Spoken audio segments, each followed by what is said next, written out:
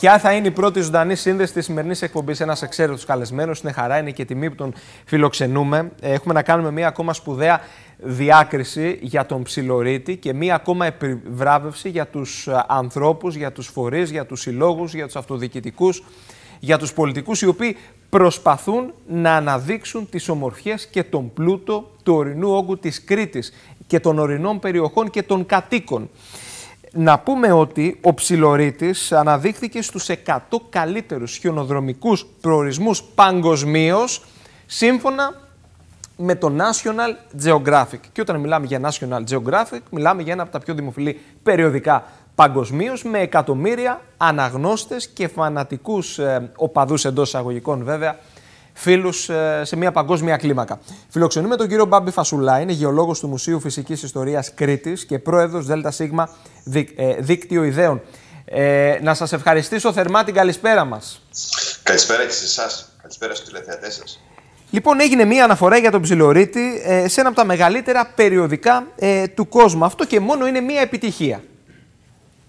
Ναι, έχετε δίκιο. Ε, είμαστε ευτυχείς αυτές τις μέρες γιατί είδαμε τον Ψιλορίτη να είναι όπως αναφέρατε και πιο πριν μέσα στους 100 κορυφαίους προορισμούς στον κόσμο για σκι και για snowboard ε, σε ένα βιβλίο μάλιστα το οποίο εξέδωσε το National Geographic και από ό,τι βλέπουμε στο Amazon είναι και best seller.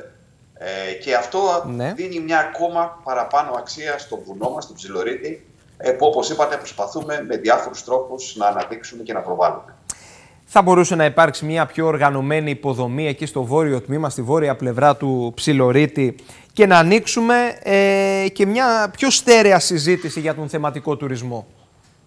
Ε, ναι, αυτή είναι μια μεγάλη συζήτηση, η οποία γνωρίζετε πολύ καλά, έχει ξεκινήσει εδώ και πάρα πολλά χρόνια και έγιναν και κάποιες προσπάθειες πριν από αρκετές δεκαετίες για να γίνει μια πίστα ε, σκι, ένα χιονοδρομικό κέντρο, το οποίο ξεκίνησε στην πορεία, εγκαταλείφθηκε, γιατί βέβαια δεν βοήθησαν οι συνθήκες τότε, οι κλιματολογικές. Ε, το χιόνι δηλαδή δεν ήταν τόσο πολύ ώστε να μπορέσει να το διατηρήσει.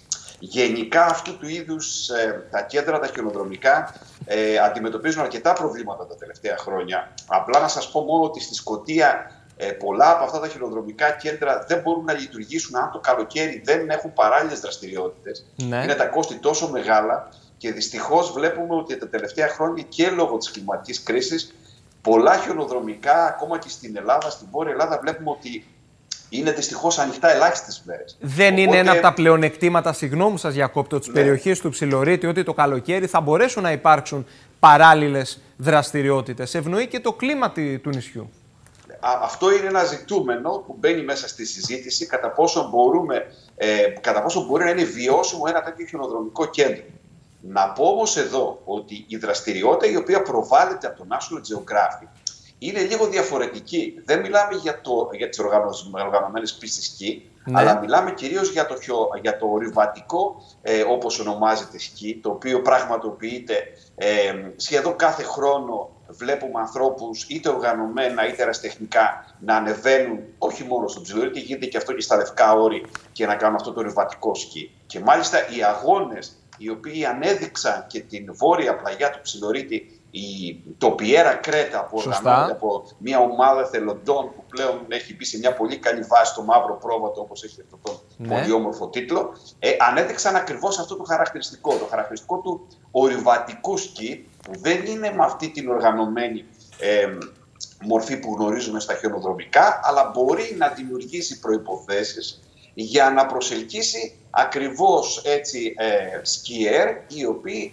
έρχονται για να αφοσιωθούν σε αυτό το είδος του σκι, το οποίο δεν απαιτεί πολλές υποδομές όπως απαιτεί ένα μεγάλο χιονοδρομικό κέντρο και μπορεί να λειτουργήσει με αυτά τα χαρακτηριστικά. Πάντως είναι μια συζήτηση η οποία είναι ανοιχτή και κανείς πρέπει να τη δει με έτσι αρκετή σοβαρότητα, να δει, να βάλει κάτω όλα τα στοιχεία ε, τα οικονομικά κυρίως για να δει κατά πόσο μπορεί μια τέτοια προσπάθεια να επιβιώσει. Είναι μια προοπτική κατά τη γνώμη σας που έχει βάση; Σαφώς έχει μια βάση, αλλά σας λέω ότι ε, είναι πολύ δύσκολο να πούμε αυτή τη στιγμή και να αποφασίσουμε αν είμαστε θετικοί ή αρνητικοί, γιατί δυστυχώς είμαστε σε μια περίοδο που σε πάρα πολλά χειροδρομικά κέντρα ε, αντιμετωπίζουν προβλήματα λειτουργίας ακόμα και στην κεντρική Ευρώπη. Οπότε πόσο μάλλον σε μια περιοχή όπως μιλάμε για την Κρήτη Ναι. με αυτά τα ιδιαίτερα χαρακτηριστικά. Χθες φιλοξενούσαμε και αντιδήμαρχο από το Ροπέδιο Λασιθή, ο οποίος ο άνθρωπος μας είπε ότι και εμείς στοχεύουμε.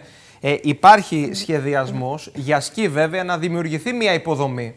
Δηλαδή, έχει ανοίξει λίγο η βεντάλια της συζήτησης και σε άλλες περιοχές της Κρήτης είμαστε στη σωστή κατεύθυνση, αλλά βέβαια να, να βγαίνει και κέρδος από αυτή τη διαδικασία. Πολύ σωστά το Ακριβώς. αναφέρατε.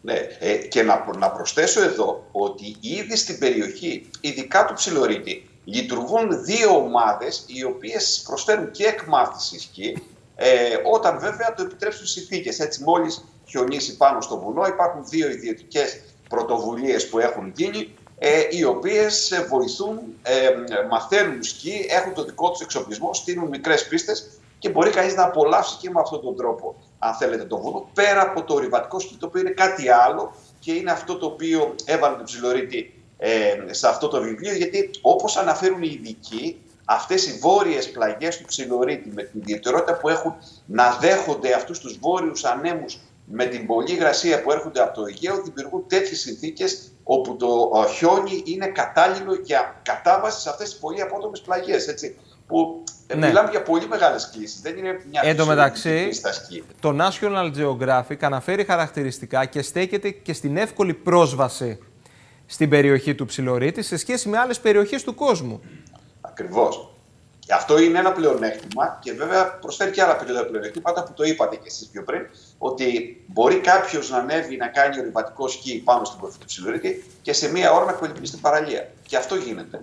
Οπότε μιλάμε για ένα συνδυασμό. Και αυτό βέβαια το ζητούμενο και αυτό είναι που προσπαθούμε όλοι εμείς που αναφέρατε και πιο πριν, είτε το γεωπάρκο του Ψιλορίτη, είτε η τοπική αυτοδιοίκηση, είτε επιμέρους φορείς, είναι να συνδυάσουμε όλο αυτό το προϊόν που έχει να προσφέρει ο Ψιλορίτης μέσα σε συγκεκριμένα πακέτα προορισμούς που θα αναδεικνύουν το σύνολο και του πολιτισμού και του περιβάλλοντος της περιοχής. Και είναι σίγουρα πάρα πολλά αυτά τα στοιχεία τα οποία μπορούν να συνδυαστούν και να δημιουργήσουν ένα προϊόν είτε για το χειμώνα είτε για το καλοκαίρι. Τοπική κοινωνία και ανάδειξη του ορεινού μας πλούτου. Σε παγκρίτο επίπεδο συνδέονται; Σαφώς και συνδέονται και θα λέγαμε ότι αυτή η ανάδειξη του ορεινού πλούτου είναι αν θέλετε και η ευκαιρία που έχουμε για να βοηθήσουμε την ενδοχώρα ε, να αναπτυχθεί σε αντιδιαστολή με την ανάπτυξη που παρατηρούμε στις παραλίες. Και θα ήθελα να επισημάνω εδώ ότι ήδη έχουν γίνει συντονισμένες προσπάθειες και από την περιφέρεια. Να θυμίσω μόνο ότι στο προηγούμενο ε, πλαίσιο, ε, το ΕΣΠΑ, το προηγούμενο που έτρεχε,